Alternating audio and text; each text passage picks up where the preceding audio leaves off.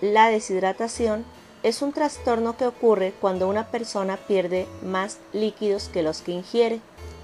Esta pérdida de líquidos es a través de la orina, el sudor o el vómito. Puede ser un problema grave en bebés y en personas de edad avanzada. Causas de la deshidratación es debido a vómitos y diarreas a consecuencias de enfermedades gastrointestinales.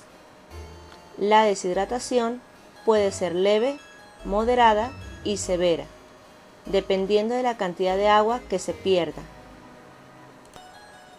El agua es el elemento principal que se encuentra en el cuerpo humano y se localiza en las células y fuera de ellas. Es un gran disolvente de sustancias acuosas, que es el líquido intracelular, y reacciones químicas, que es el líquido extracelular.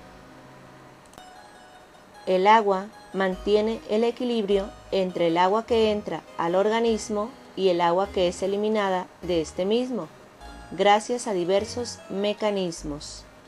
La cantidad de agua necesaria para mantener este equilibrio es de 2.6 litros diarios. El exceso de agua en el organismo puede ocasionar la pérdida de minerales, como son el potasio, el sodio y el magnesio, que se diluyen rápidamente en la sangre y produce cansancio, calambres y pérdida de agilidad mental.